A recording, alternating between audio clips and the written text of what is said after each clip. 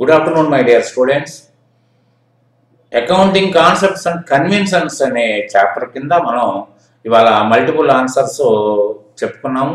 తర్వాత ఇప్పుడు fill in the blanks అంటే ఫిల్ ఇన్ ది బ్లాంక్స్ అవసరం మాస్టర్? మల్టిపుల్ ఆన్సర్స్ మాకు వస్తాయి కదా. అంటే ఫిల్ ఇన్ ది బ్లాంక్స్ వల్ల మీకు టెక్స్ట్ బేస్డ్ నాలెడ్జ్ వస్తుంది. దానివల్ల ఏంటంటే మీరు మల్టిపుల్ ఆన్సర్స్ ఏ రకంగా ఇచ్చినా కూడా దాని రైట్ ఆన్సర్ ఏంటో మీకు అర్థమైపోద్ది కాబట్టి you can choose a right answer so fill in the blanks కానీ text based single line answers కానీ very very important for you to succeed in the examination అది మాత్రం బాగా ఉంది ఎందుకంటే మీరు మల్టిపుల్ ఆన్సర్స్ మల్టిపుల్ ఆన్సర్స్ ఎన్ని వేలు చదివినా కూడా మీరు complete full fledged knowledge gain చేస్తారనే గ్యారంటీ ఇక్కడ కనబడదు కాబట్టి I'm concentrating on that so coming to the subject a company or firm is set to be going concern when there is no evidence to believe that it will or will have to close its business in foreseeable future.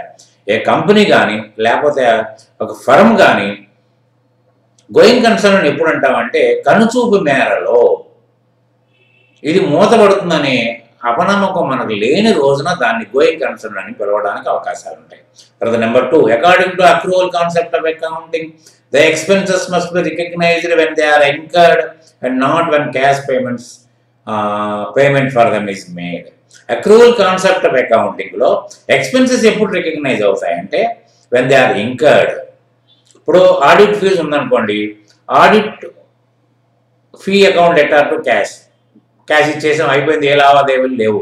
కానీ auditor will audit fee account letter to audit fee payable salaries account letter to salary payable rent account letter to rent payable అయితే మనకి ఇచ్చినప్పుడే లెక్క వేసుకున్నట్టయితే మీకు accounting reporting దెబ్బతింటుంది. ఎందుకంటే ఇచ్చేది ఇప్పుడు జనవరి ఫిబ్రవరి వచ్చిన ప్రాబ్లం లేదు ఫిబ్రవరి మార్చిలో ఇచ్చిన ప్రాబ్లం లేదు. మార్చి ఏప్రిల్లో ఇస్తే మాత్రం మీ రిపోర్ట్స్ బ్రహ్మాండంగా తప్పుతాయి కాబట్టి ఏంటంటే మీకు ఎప్పుడైతే ఇంకర్ అయిందో irrespective of the payment made అన్నమాట సో ఇంకార్డ్ అనేది మీకు మ్యాచింగ్ మీకు ఇక్కడ లెక్క accrual system of accounting third according to matching principle of accounting the revenues and the related expenses are matched in the same period which the related ఎప్పుడైతే దానికి సంబంధిత ఉంటుందో అప్పుడు మాత్రం దాని మ్యాచ్ అయిపోవాలి ఇప్పుడు ఇందాక చెప్పినట్టు నేను ఇప్పుడు వన్ ల్యాక్ సేల్ చేశాము. ఏమండి? తర్వాత ఏమో దీంట్లో మనకి ఒక యాభై వేలు వచ్చింది. యాభై వేలు రాలేదు.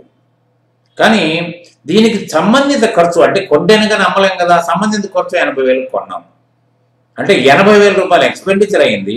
యాభై వేలు మాత్రమే రెవెన్యూస్లో పడ్డంది. అంటే యాభై వేల రూపాయలు రావాలి. కానీ రాలేదు కాబట్టి వేసుకోకపోతే ఏమవుతుందంటే మీకు అది ఆ సేమ్ పీరియడ్లో మీరు దాన్ని మ్యాచింగ్ వేసుకోలేపారు కాబట్టి మ్యాచింగ్ ప్రిన్సిపల్ యొక్క అర్థం పరమార్థం దాని యొక్క ఆ,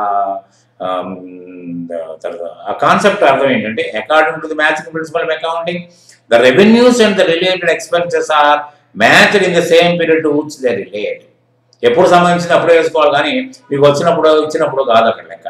So fourth one the transactions of business must be recorded separately from those of any other business and its owner the statement belongs to business or separate entity concept అంతకుముందు కూడా multiple ఆన్సర్స్లో వచ్చింది మనకి.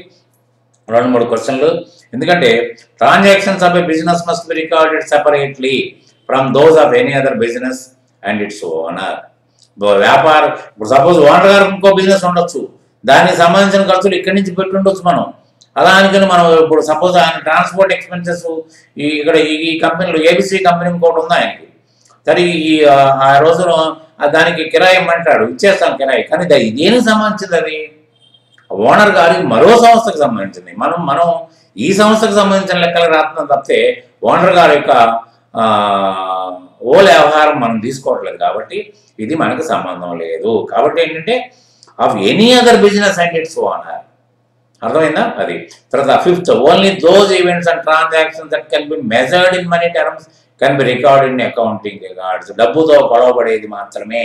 సపోజ్ సేల్ ఆర్డర్ వచ్చింది. Sale చేస్తే కదా నువ్వు మీరు goods supply చేస్తే సేల్ అవుద్ది. అప్పుడు దాకా ఏమవుతుంది? అలాగే పర్చేస్ ఆర్డర్ పంపించేవాడు. అక్కడ నుంచి స్టాక్స్ వస్తాయి కదా. సో ఏంటంటే అది మానిటరీ టర్మ్స్లో కొలవడి ఉండాలి. ఎందుకంటే మనీ చేంజ్ అప్పుడు మాత్రమే మానిటరీ టర్మ్స్లో ఉంటాయి. కానీ లేకపోతే కాదు.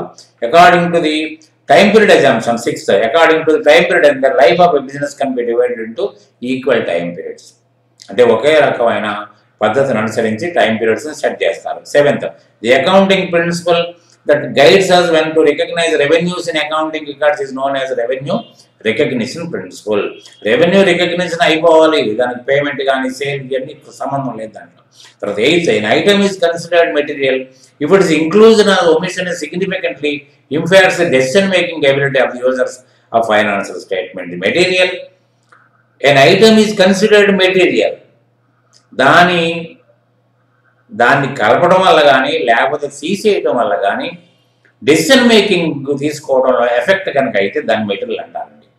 అర్థమైందండి? An item is considered material if its inclusion or omission significantly impacts decision making ability of the users of financial statements దానివల్ల ఎఫెక్ట్ అది అది మిస్ అయిపోయింది అనుకోండి మిస్ అయిపోతే దీనిలో మనం తీసుకునే డెసిషన్ కూడా తప్పైపోతుంది కాబట్టి ఏంటంటే ఇంక్లూజన్ అనేది so immaterial or insignificant item is an item that has very little or no impact on the decision making ability of the users of finance statement immaterial or insignificant item material దాంట్లోనేమో అవసరం ఉంది. ఇదేమో దాని reverse దానికి opposite the materiality refers to the importance of specific item in relation to the other items on the financial statement 11th, while assessing materiality, accountants not only take into account the individual items but also the cumulative effect of the immaterial uh, uh, items. ఈ రెండాటికి సంబంధం ఉంది. ఇవి మాత్రమే తీసుకోవడం కాదు అవి కూడా తీసుకోవాల్సిన పరిస్థితి ఉంది. Number twelve according to the historical cost concept the assets and liability should be recorded at the historical cost according to the historical cost concept the assets and liability should be recorded at their historical cost 13. Accountants, accounts receivable are presented in the balance sheet at their net realizable value. ఏమంటే లక్ష రూపాయలు రావాలి దాంట్లో ఇరవై వేల రూపాయలు discount ఇవ్వడం కానీ మునిగిపోవడం కానీ జరిగింది net realisable values eight thousand only అవే తీసుకోవాలి మనకేంటంటే అడ్జస్ట్మెంట్ ఎంట్రీ చేస్తాం create discount create reserve for doubtful debts or create make a provision for discount on debtors అని ఇవన్నీ కూడా అవి తీసుకున్న తర్వాత ఏంటంటే నెట్ రియలైజబుల్ లక్ష రూపాయలు రావాల్సి వస్తే ఇలా ఎనభై వేలకు తొంభై వేల రూపాయలు వచ్చేస్తుంది. So fourteen the company should use the same accounting policies and methods for regarding similar events and transactions from one financial period to another the statement belongs consistency principle of account అంటే నిలకడగా ఉన్న ఇప్పుడు పద్ధతి ఒక నిలకడగా ఈ సంవత్సరం ఏ పద్ధతి ఉందో నెక్స్ట్ ఇయర్ కూడా అదే పద్ధతి ఉండాలి. ఆ వచ్చే సంవత్సరం కూడా నెక్స్ట్ అదే పద్ధతి. ఎందుకంటే ఒక సిమిలారిటీ ఉన్నప్పుడు మాత్రమే మనం కంపారిజన్ అనేది ఈజీగా ఉంటుంది. మనం లాస్ట్ టైం ఏం జరిగింది? ఇప్పుడు ఎందుకు జరగలేదు? దానికి గల కారణాలు విశ్లేషించుకోవాలంటే మీకు కాన్సిస్టెన్సీ ప్రిన్సిపల్ ఉండాలి. నిలకడతనం లేకపోతే అది సాధ్యం కాదు. Fifteenth the understandability concept state the information provided in the finance statements of an entity should be easily understand by అండబుల్ by users ఏమంటే అర్థవంతంగా ఉండాలంటే ఏదో రాసేసాం అంటే కాదు. ఏదైతే ఫైనాన్షియల్ స్టేట్మెంట్స్ యూజర్స్కి అండర్స్టాండ్ అయ్యేటట్టుగా ఉండాలి తప్ప ఏదో అర్థం కాని టెక్నాలజీని వాడి ఉపయోగలేదు so by these I came to an end to the point number fifteen I will start another video containing another fifteen to close down this chapter good day